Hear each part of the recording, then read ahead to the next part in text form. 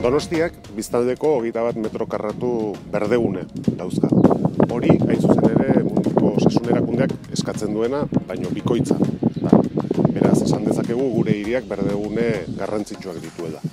Ada ere, guk uste dugu berdegune gehiago sortzen saiatu behar gare da, eta hemen ekialdean gaude da gainera, berdegune, hainbat berdegune dauzkagun gunean, gure proiektua da bide berde bat sortzea. Hoy lo que presentamos es un proyecto en la zona este de la ciudad que tiene muchos parques, que une esos parques y que genera un camino verde, un círculo que será como una especie de espacio para disfrutar dentro de la ciudad y disfrutar sobre todo de la naturaleza.